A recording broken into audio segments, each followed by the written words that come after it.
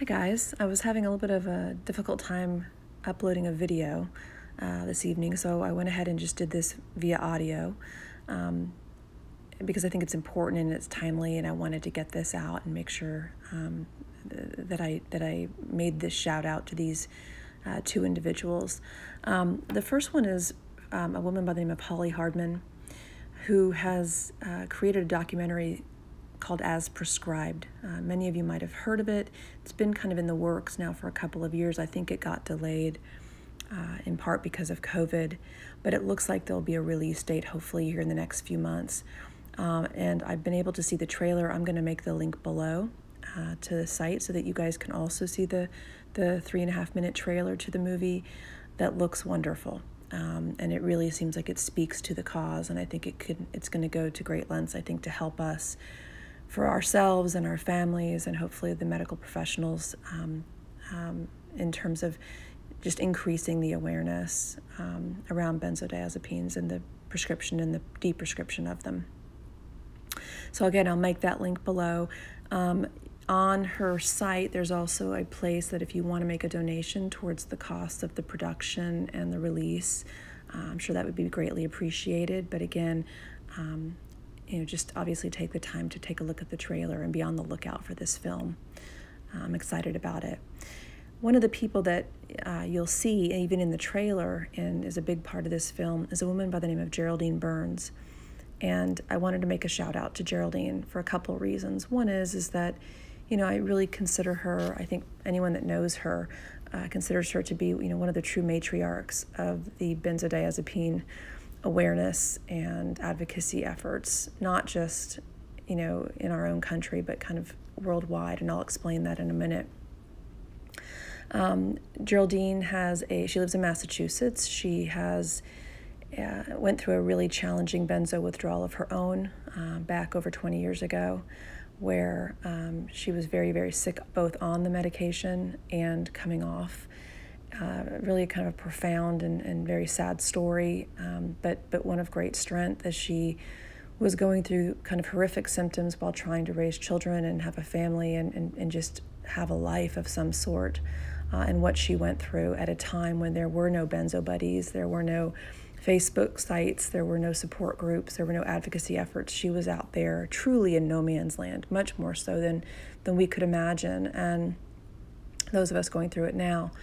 And I think it was at the urging of her children that they finally said, Look, mom, you've got to find somebody. There's got to be somebody else out there like you. You can't be the only person that this has happened to.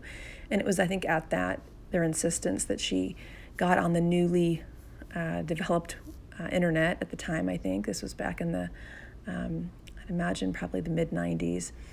And uh, they help her, you know, find. Um, uh, mid to late 90s and they help her find some other people like her and she goes on to try to begin and start to spearhead some advocacy efforts and, and develop support groups. And and um, one of her goals was to write put a book together. And so she reached out to lots of different people that she felt might be interested in contributing to it a page or two a chapter or two. And one of the people that she had found on the internet that she reached out to and asked uh, for this contribution was dr heather ashton um, who some of you may have may, may be aware of who she is. The Ashton Manual is kind of famous in uh, the benzo world.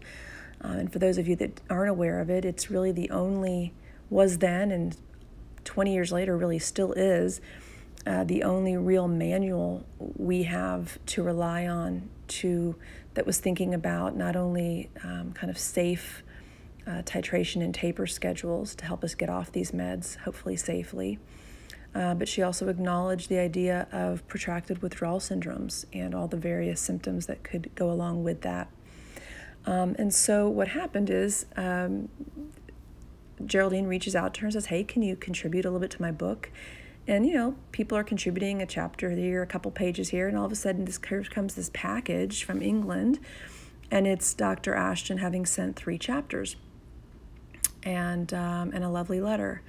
And they both kind of decide that not only would it be great for the book, but it's it's so such a wealth of information in and of itself that it serves as its own kind of booklet and pamphlet for benzo users or doctors or family members. Um, and Dr. Dr. Ashton gives Geraldine the permission to basically start to disperse this at her will.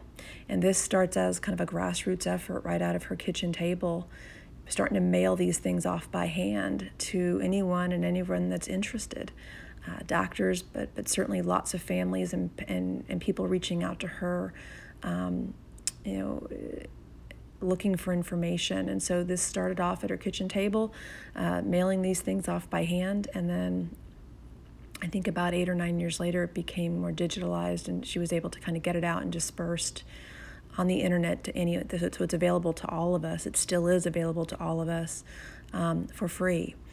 Um, and so this was the contribution um, that Dr. Ashton made, and that was also made possible through Geraldine's efforts.